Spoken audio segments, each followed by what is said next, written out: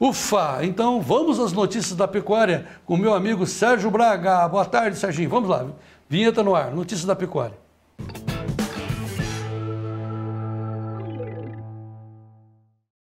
Boa tarde.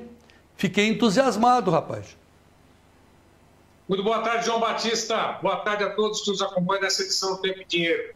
Muita calma nessa hora, João. E... Ainda não é motivo ainda de comemoração, não, mas pelo contrário, um esboço só de reação positiva diante daquela queda acentuada, quase 50 reais de queda no mês de setembro para cá no preço da roupa do boi gordo. Então, caminha lentamente? Pode ser que na sexta-feira poucos negócios, mercado futuro tem oportunidades com relação à trava de preços, né? tem muito especulador no mercado, mas ainda a gente tem que acalmar um pouquinho os ânimos, porque a situação ainda não está definida, João.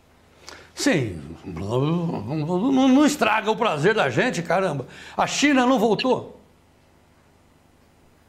Não, não voltou, João Batista. E não tem interesse em voltar tão rápido assim, tão cedo. Pelo contrário, eles querem carne mais barata ainda, e isso está acontecendo aqui no Brasil. O mercado tem acompanhado essa queda acentuada, 49 dólares por arroba. Né? Na Austrália, 107. Por que eles não vão comprar da, da Austrália preço da roupa por lá, bem próximo, né? Questão de logística. China está logo ali, né? Vem buscar aqui no Brasil, reclamam e ainda fazem essa chantagem. Beira chantagem, João Batista. Né? Além de questões consideradas por alguns analistas questões ideológicas nesta, nesse embargo, né? Nós temos aí também questões aí voltadas a quanto mais melhor, ou seja, quanto menor o preço da roupa, para o boi gordo nesse momento, melhor para a China. Né? Ou seja, o Brasil voltou a ser, ou seja, o Brasil é o negócio da China nesse momento. Eita, saco. Bom, mas pelo menos com a chuva o pessoal pode segurar um pouquinho o boi, né?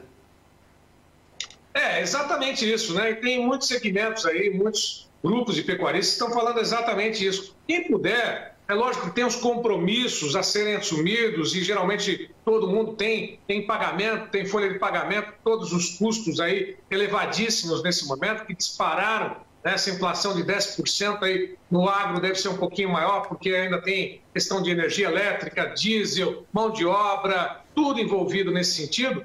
O, os pecuaristas ainda falam, aquele que pode, principalmente os grandes, né, podem, devem segurar um pouquinho. Agora, os médios que estão lá no meio, entre os pequenos e os grandes, estão com uma situação mais achatada ainda. E muita gente falando que vai deixar atividade, vai deixar a pecuária. É, a questão da integração lavoura-pecuária, que a gente vinha acompanhando é, todo, durante todo esse período, estava dando certo. Muita gente vai devolver a área de pecuária só para a agricultura, que pelo menos é algo que tem uma rentabilidade certa apesar dos riscos envolvidos. Mas tem aí as operações que são possíveis para travar os preços, tanto da soja quanto do milho, no caso da agricultura, João. É, vamos falar com, com o Maurício Belinello já já, já está já postos lá em Curitiba, mas veja só, o Rubens Soriano está dizendo o seguinte, ó, já já encosta nos 300 com essa segurada. Aí o, o, o, a Andressa Manosso disse assim, olha, você viu, foi só segurar um pouquinho. Bom, isso é, é, é, uma seguradinha boa, uma, uma melhoradinha boa, só para o boi gordo ou a terminação também está boa? Aliás, a, a, a, reposição está boa?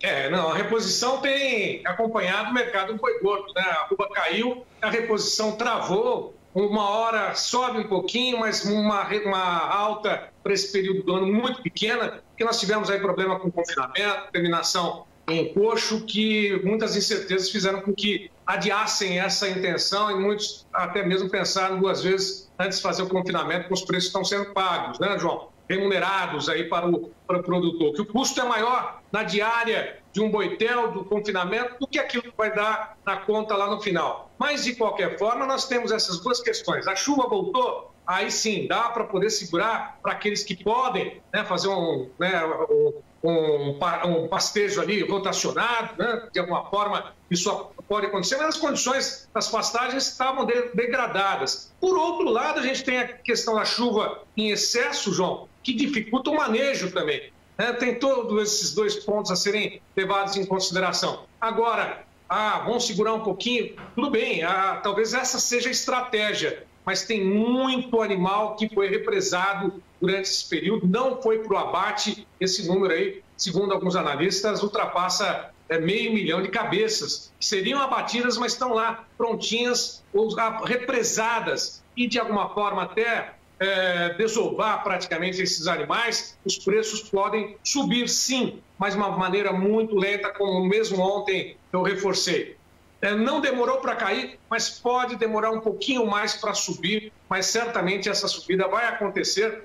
E como eu disse, muitos pecuaristas estão colocando aí na ponta do lápis para saber se vão continuar com a pecuária ou vão direto para a agricultura, principalmente os pequenos e os médios, né, que têm atividade aí mais tecnificada, permanecem, têm as possibilidades aí de recorrer às operações de proteção, mas a pecuária não vai ser mais a mesma, João Batista. E a gente tem que saber que a China não pode ser a única responsabilizada por essa situação. Porque, como eu disse, a China compra, sim, 30% do que é o, é, dos 180 milhões de, de dólares que foram é, exportados, né? 180, pra, corrigindo, 187 mil toneladas exportadas no mês de setembro, quase 130 mil foram para a China. Não é um mercado que pode se deixar, vamos, vamos deixar a China para lá, não é por aí. Gente sabe que não é por aí. Mas o mercado não vai ser mais o mesmo. Nós teremos um abate de fêmeas né, coisa que não estava sendo levada em consideração. Nós teremos uma produção menor de bezerros e esse é, ciclo está sendo quebrado, produção menor de bezerros. Abate de matrizes vai refletir daqui um ano e meio, dois anos, quando tiver ah, o preço da arroba do boi gordo lá em cima, disparado, João Batista. Não precisa ter bola de cristal para acompanhar essa disparada dos preços. Uma produção menor produção de carne é pequena já no mundo, o Brasil vai produzir um pouquinho menos do que vinha produzindo e os preços certamente vão disparar mais uma vez. E a carne, para todo mundo que reclama, realmente vai ser algo que vai ter uma reclamação adicional. Preço que está hoje aí poderia ser mais barato, porque a roupa do boi gordo caiu na ponta de cá, né, da, da, da porteira para dentro, né? o atacado e o varejo não estão repassando essa queda, poderia movimentar o mercado. Mas hoje o preço da carne ainda é barato perto daquilo que vai acontecer daqui um ano, dois anos, João Batista. Então vamos aos preços. Depois você vai trazer a Tainá Dubrovich, lá da Scott, explicando o mercado do ponto de vista da Scott. Preços de hoje, como é que andaram hoje é, do boi gordo a, a, no campo, Sérgio? Final da primeira quinzena, 6,8% de queda para a referência do indicador CPE Exalc, portanto, Ontem fechou aí nos 271 reais, deu uma ligeira alta. Hoje, no mercado físico, seis praças apresentaram queda das 32, começando pela estabilidade em relação ao fechamento de ontem. Para São Paulo, 266 à vista, 268 no aprazo. Minas Gerais ao sul, 268 no à vista, 270 no aprazo. Santa Catarina Oeste ainda o preço mais alto para arroba, R$ 303,50, R$ 305,50 no prazo. Maranhão Oeste, R$ 268,00 arroba à vista, R$ 270,00 na arroba a prazo. Portanto, aí nós temos aí ah, seis praças apresentando queda. E você falava sobre o mercado de reposição, né, João Batista? Sim. Então, nós temos aí a participação da Tainá Drogovic fazendo uma avaliação, uma análise do que aconteceu no mercado de reposição direta lá da Scott Consultoria. Podemos ouvi-la, João? Opa, direto e reto, Tainá.